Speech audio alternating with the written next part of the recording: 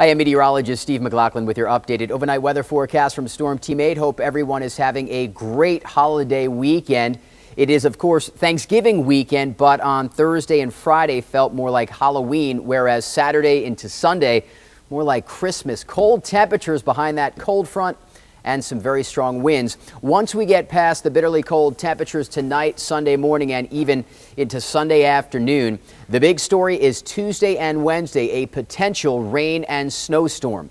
At this point, it is one of these storms where we literally have to tell you it could go either way. We have a model saying we're not going to get anything at all. I mean, maybe a few snowflakes or raindrops, but from what I'm looking at and from my experience here in Connecticut, my forecast right now is for some mixture of rain and snow Tuesday into Wednesday. I think we're going to see precipitation. The question right now is just how strong the storm is, the exact track and path, and where the cold air is. I would plan on a mixture of rain and snow across the entire state, but leaning toward more rain toward I-95 and more snow inland.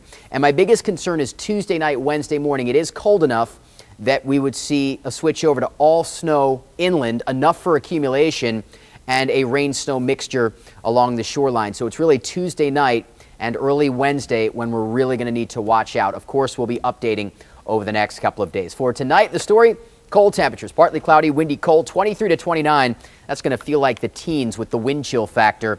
Brisk, blustery, still windy on Sunday afternoon, 45. Clouds and sun, 48 on Monday should be a nice day. This is the shoreline forecast where we're talking about rain on Tuesday and Wednesday, but during the nighttime periods. So Monday night, Tuesday morning, Tuesday night, Wednesday morning, Wednesday night, Thursday morning, you know, it's cold enough that we could see that rain snow mixture.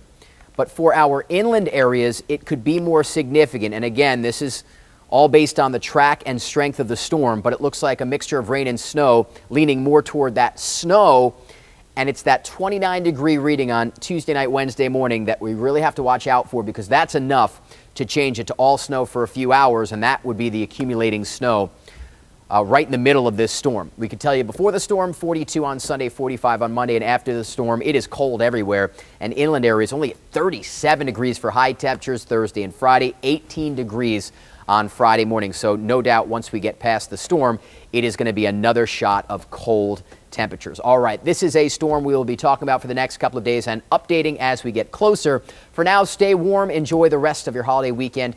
I'm meteorologist Steve McLaughlin.